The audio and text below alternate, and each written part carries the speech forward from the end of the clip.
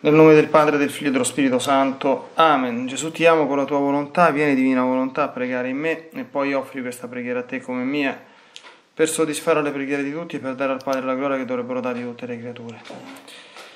Mia Divina Maria, ti amo nella divina volontà.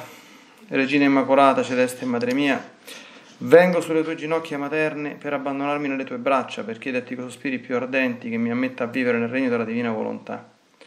Mamma Santa, tu che sei la regina di questo regno, ammettimi a vivere in esso finché non sia più deserto, ma popolato dai figli tuoi. Perciò, sovrana regina, a te mi affido affinché guidi i miei passi.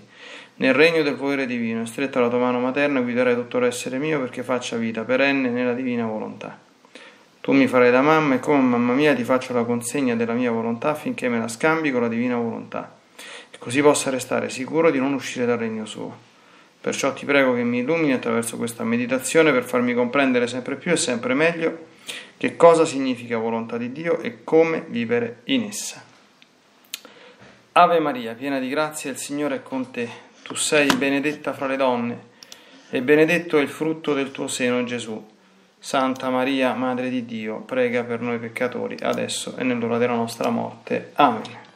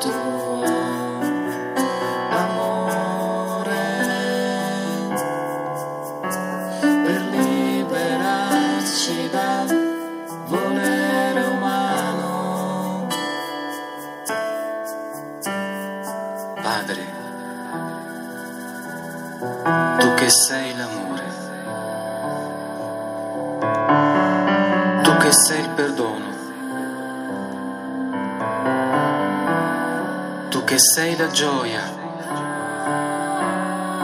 Padre, tu che sei mio Padre, tu che sei la vita vera.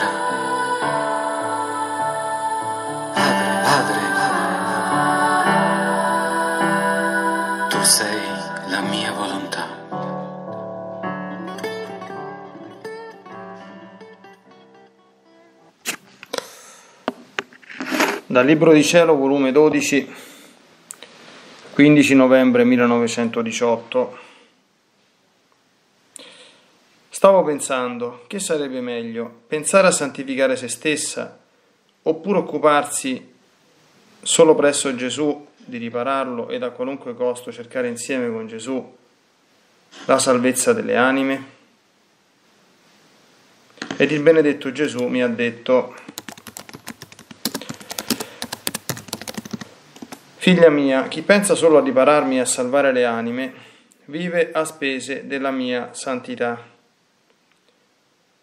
Vedendo io che l'anima non vuole altro che ripararmi, facendo eco al mio palpito infuocato, mi chiede anime, io vedo in lei le caratteristiche della mia umanità, e preso da follia verso di essa lo fa vivere la faccio vivere a spese della mia santità, dei miei desideri e del mio amore, a spese della mia fortezza, del mio sangue, delle mie piaghe, eccetera. Posso dire che metto a sua disposizione la mia santità, sapendo che non vuole altro che ciò che voglio io. Invece chi pensa a santificare solo se stessa, vive a spese della sua santità, della sua forza, del suo amore. O come crescerà misera.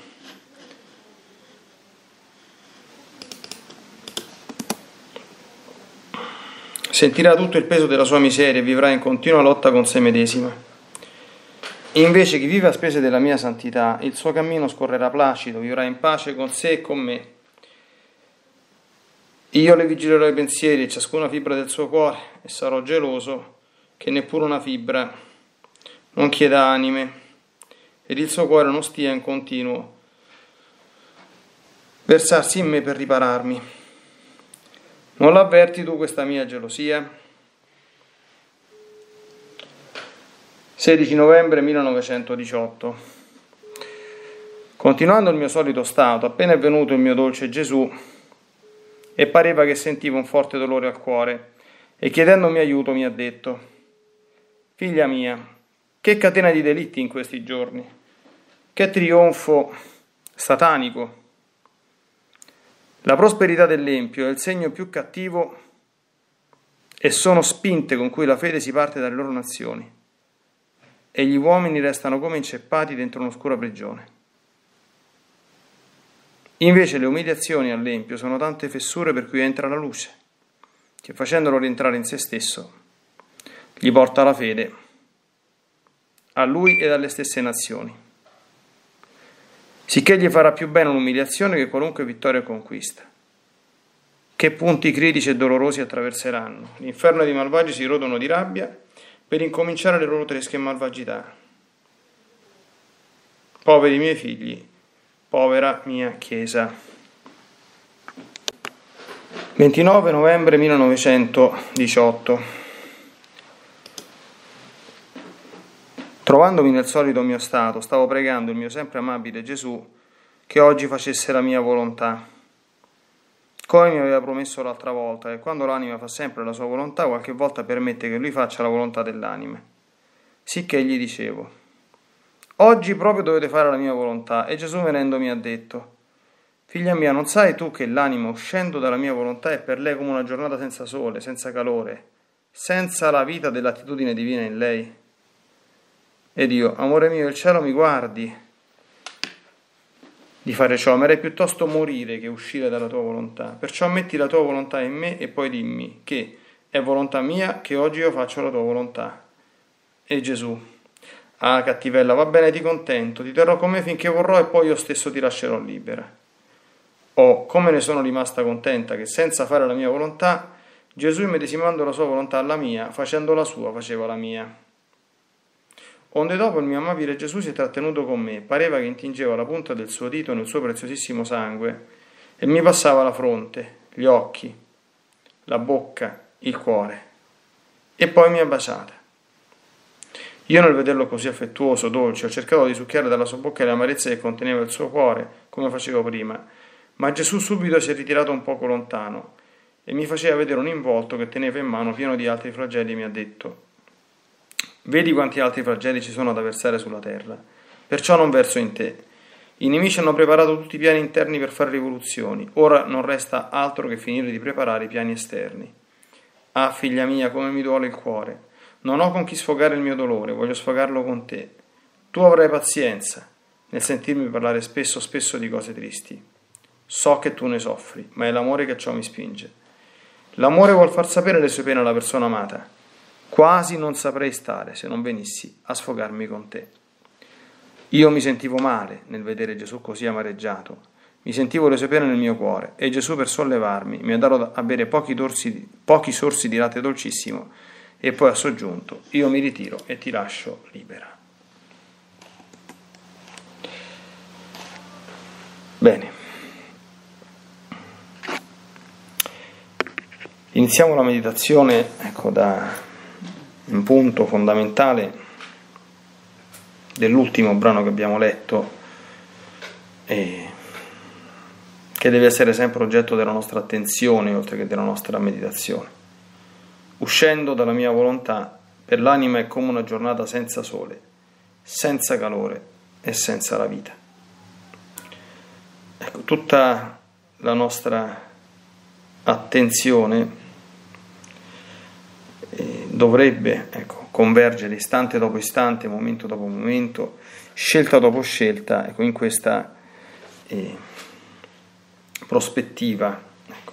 Sto uscendo dalla divina volontà o sto rimanendo nella divina volontà, in quello che sto facendo, in quello che sto eh, dicendo, in quello che sto pensando, in quello che sto progettando, in quello che sto operando, in quello che sto guardando, in quello che sto ascoltando. Ecco. Oppure no. È un'attenzione che deve essere costantemente presente dentro di noi, perché poi una volta che si esce dalla divina volontà ci si mette appunto all'ombra, al buio, fuori della vita. E come in tutte le cose poi c'è sempre una fatica ecco, da fare per rientrarci. È come quando si commette un peccato o una mancanza, no? molte persone pensano un po' troppo frettolosamente, tanto Dio mi perdona e finisce lì. Che Dio perdona chi è pentito è certamente verissimo, però purtroppo non finisce lì perché un peccato, quindi un'uscita grave dalla divina volontà, e faccio sempre questo esempio, no? è come se uno avesse eh, deviato la strada dal retto cammino. A un certo punto dice che sto a fa e chiede perdono per aver deviato. E colui, insomma, che è, è come dire, il responsabile del viaggio, quindi quello che, che, che vuole che arriviamo a un certo obiettivo per il nostro bene, chiaramente dice va bene, ti perdono. Eh, però eh, io adesso mi sono trovato eh, che sono uscito di strada, insomma, quindi devo tornare indietro, come se uno guidasse una macchina, no? e riprendere la retta via. Ho perso tempo e, e comunque dovrò fare un percorso a ritroso. E quindi ho perso tempo e ho anche dire, da fare un lavoro eh, di, di, ripristino, di, cioè mi, mi, ci devo rimettere sulla retta via. No? Ecco, penso che a tutti sia capitato una cosa di questo genere. È terribile quando uno purtroppo sbaglia strada in autostrada, perché se uno salta un'uscita che non se ne accorge, insomma, oppure eh, questi strumenti moderni, scientifici elettronici fanno le bizze e non ci fanno capire che dobbiamo uscire da qualche parte, uno salta un'uscita e prima che trova un'altra trova 20 km dopo, dopo fare 20 km più 20 km torna indietro, insomma, quindi diventano 40. Ecco. E uno ha perso 20 minuti. Quei 20 minuti sono 20 minuti persi. Adesso certamente tutti quanti questi principi, come tutti i principi della vita spirituale, noi dobbiamo viverli con calma e senza farci prendere dall'ansia o dall'agitazione, ma nella consapevolezza non è la stessa cosa fare percorso netto oppure fare un percorso che ho fatto 200 sbagli di strada e poi sono tornato indietro a rimettermi a posto. Certo, in qualche modo certamente arrivo, ma arrivo molto più nervoso, arrivo molto più malconcio, arrivo soprattutto molto molto più tardi. Ecco, questo in un, in un esempio umano, no? Ecco, eh, però questi discorsi valgono esattamente mm, mutatis mutandis nella vita interiore, no? È per questo, per esempio, che il sacramento della penitenza, come sappiamo, termina con quella che si chiama tecnicamente la soddisfazione sacramentale, ossia comunemente parlando proprio quella che si chiama la penitenza, no? che anche se oggi ha un valore nell'amministrazione del sacramento insomma poco più che simbolico, a differenza insomma di discipline più severe che la Chiesa ha conosciuto nei secoli precedenti, però anche nel suo aspetto simbolico, fosse solo fare un Padre Nostro, un'Ave Maria, ecco, che per le confessioni certamente piccole eh, va bene, insomma, no? Però ti ricorda, guarda che hm? Siamo nel mese di maggio, c'era un po' quella cosa che la Madonna disse a Suor Lucia nella prima apparizione, no? dice ma Giacinta viene in cielo, sì, Francesco ci viene, sì, ma deve recitare molti rosari. Era un bambino. Non è che con rosari ti compri il cielo, no, d'accordo, perché il cielo è un dono di Dio, ma con i molti rosari vuol dire che c'erano già delle macchioline nella sua anima che andavano riparate con delle opere penitenziali. La preghiera è una di esse. Quindi mm, di questo dobbiamo essere consapevoli, quindi certamente eh, noi non dobbiamo fare un dramma se siamo usciti dalla divina volontà o nemmeno un dramma se siamo caduti, no? Perché una volta uno è caduto, eh, eh, dicono i maestri di spirito che, che, che, che i demoni girano in coppia, il primo incaricato di farti cadere e il secondo incaricato di non farti rialzare. Quindi una volta che uno è caduto, questi discorsi se non ci deve pensare, deve, deve sbrigarsi a rialzarsi cercare di mettersi in carreggiata il prima possibile. Ecco, però ovviamente prima di cadere è sempre bene pensare che eh, sarebbe preferibile evitare la caduta. Ecco.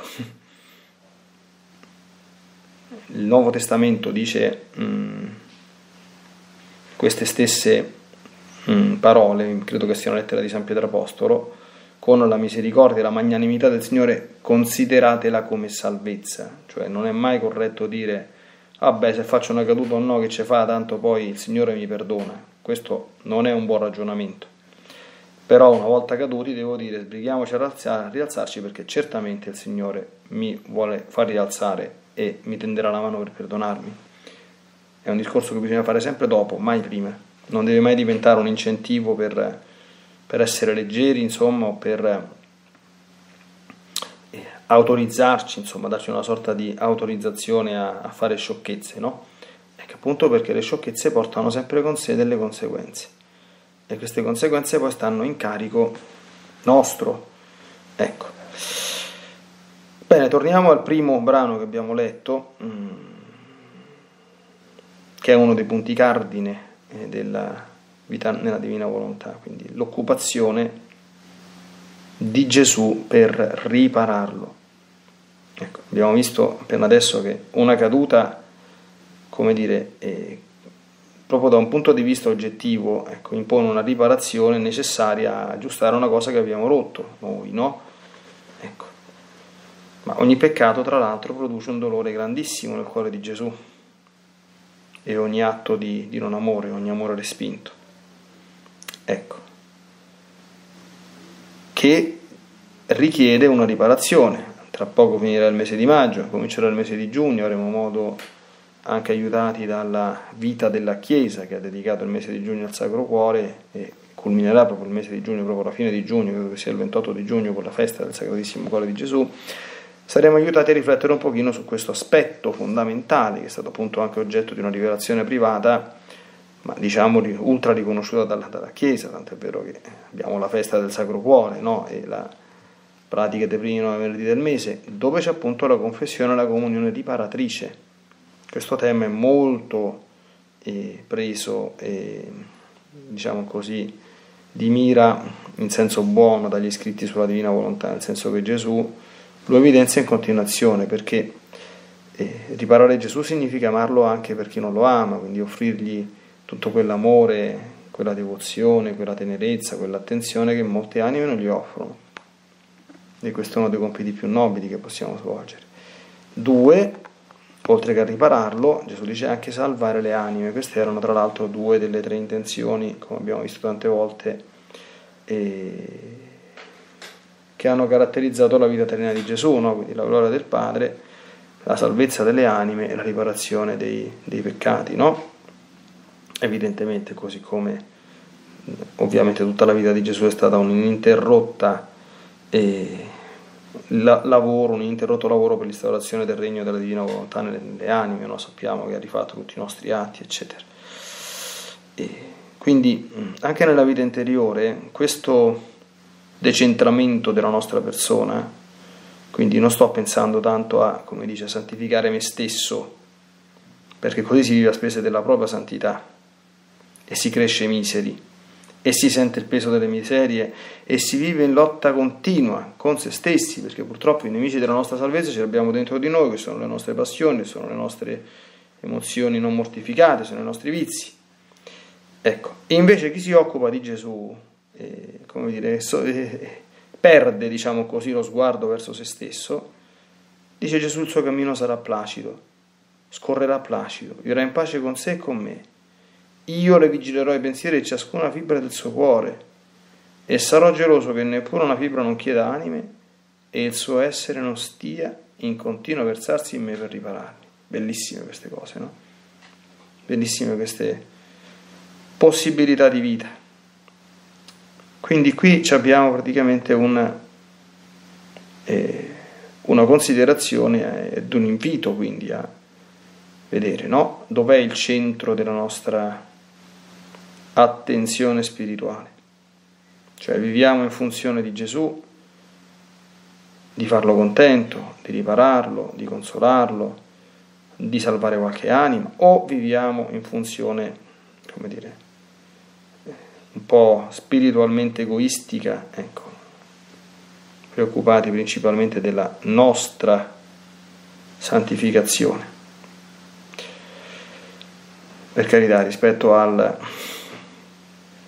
al nulla e all'indifferentismo e al disastro che c'è in giro, molto meglio pensare alla santificazione propria, ecco, però qui certamente Gesù ci eleva verso maggiori perfezioni. Il secondo capitolo che abbiamo letto contiene un principio generale molto importante, c'è la solita eh, dire, tematica mh, mm, del dilagare del peccato e Gesù dice una cosa eh, brutta e vera però. La prosperità dell'empio è il segno più cattivo. Ci sono dei salmi bellissimi, no? che sono dei salmi di, di lamentazione che dicono al Signore ma come mai che l'empio prospera? E perché la prosperità dell'empio significa il calo o la perdita della fede. Ecco, e anche tutti quanti i salmi, no? così comprendiamo, nei salmi viene invocata eh, con forza a volte dal, dal salmista che gli empi siano umiliati, che siano in qualche modo atterrati, ma non nel senso di e quasi volersi vendicare, no? diceva questi stanno facendo adesso, è ora, è ora che la scontano, è ora che la pagano, devono essere mortificati, devono essere umiliati. No, ma nel senso che Gesù spiega qui, eh, le umiliazioni all'empio sono tante fessure per cui entra la luce che facendolo rientrare in se stesso gli porta la fede. E questo vale anche per noi. Le umiliazioni, argomento fondamentale della vita spirituale e credo che insomma non, eh, non, è difficile, non serve essere grandi profeti, insomma non è molto difficile comprendere che a nessuno credo piaccia eh, essere umiliato, essere messo con la bocca nella polvere, essere atterrato no? e trovarsi in situazioni permesse da Dio eh, o provocate, diciamo così, da Dio per il nostro bene eh, che scottano, che possono fare molto molto male.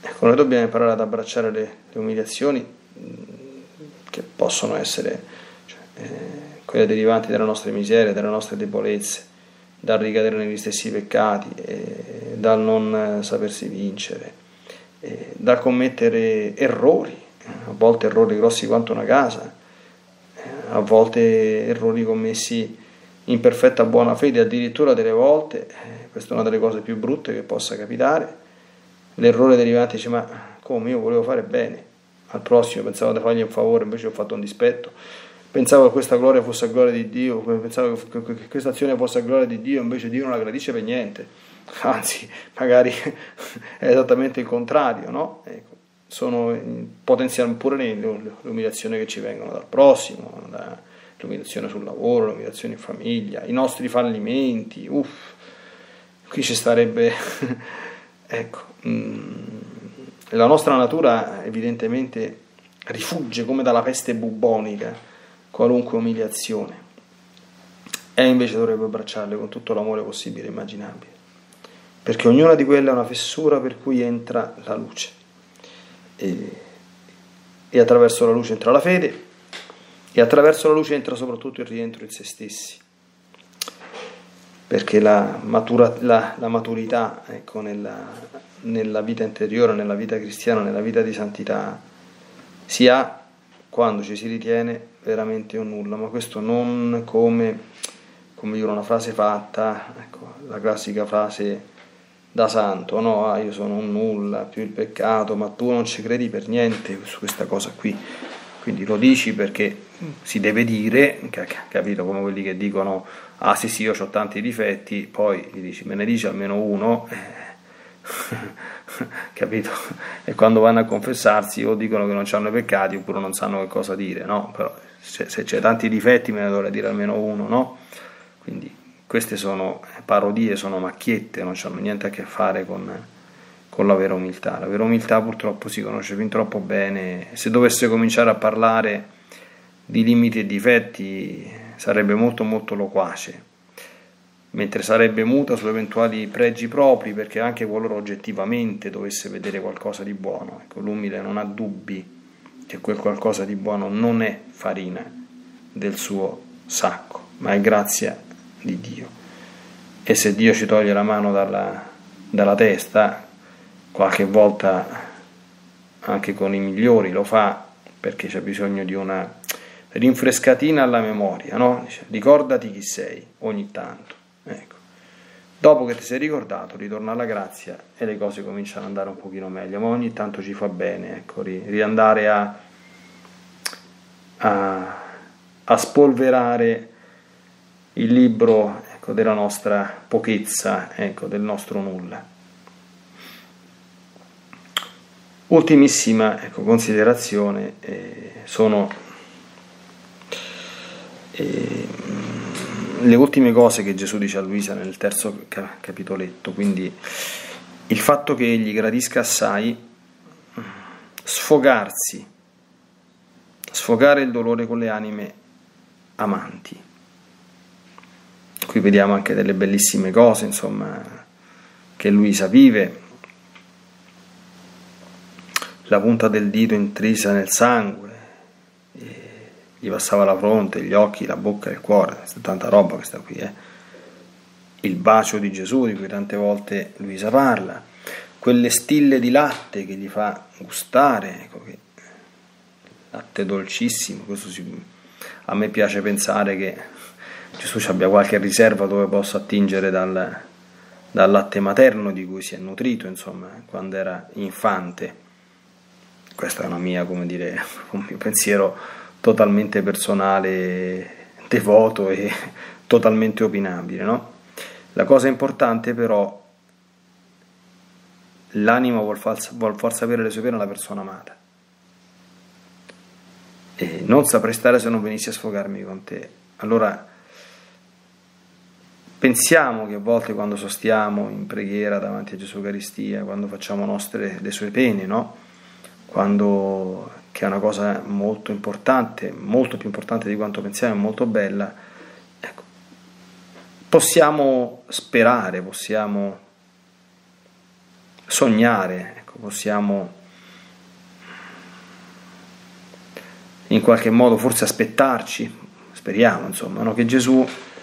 Eh, sia da noi consolato e quindi che anche se in maniera non, non percepibile, perché non ci parla, non ci dice con voce sensibile insomma, le sue sofferenze, potremmo però ecco, avergli causato una consolazione, quindi una possibilità di sfogo, quantomeno un vedere, dice vabbè, questo almeno mi vuole bene, questo almeno sta alla mia presenza, questo almeno mi ama, questo almeno ci prova a ripararmi. Sono cose belle per cui voglia il Signore, ci concede il Signore la grazia di, di poterle vivere, ovviamente in maniera ordinaria, se abbiamo la grazia di viverle, noi le viviamo ringraziando nel Signore, eh, nella non piena consapevolezza, ma non fa niente, no? Ecco. Tanto se quando andremo dall'altra parte Gesù ci dirà grazie per eh, l'amore, per la riparazione, per, per, lo sfogo che mi hai concesso in quella circostanza, anche se tu non lo sapevi, beh, questo sarebbe comunque, penso, una cosa bellissima e assai gradita. per tutte le anime che sinceramente amano il Signore.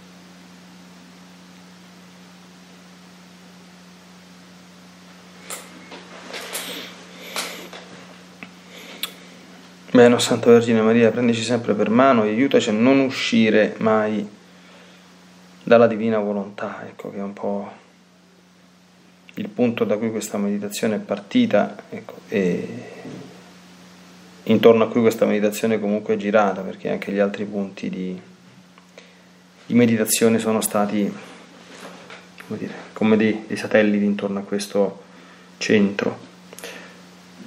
Aiutaci, ecco, facci discernere sempre bene con attenzione e dacci anche la grazia di togliere ecco, dalla nostra vita tutto ciò che in qualunque modo ci possa distogliere o, o allontanare dai divini voleri.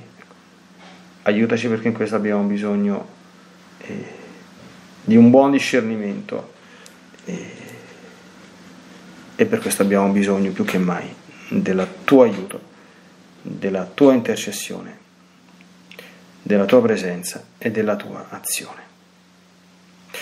Nella divina volontà, nel nome del Padre, del Figlio e dello Spirito Santo, Amen. Ti benedico per aiutarti, ti benedico per difenderti, ti benedico per perdonarti, ti benedico per liberarti da ogni male, ti benedico per consolarti, ti benedico per farti santo. Ti benedico dunque nella divina volontà, nel nome del Padre, del Figlio e dello Spirito Santo. Amen. Fiat Ave Maria.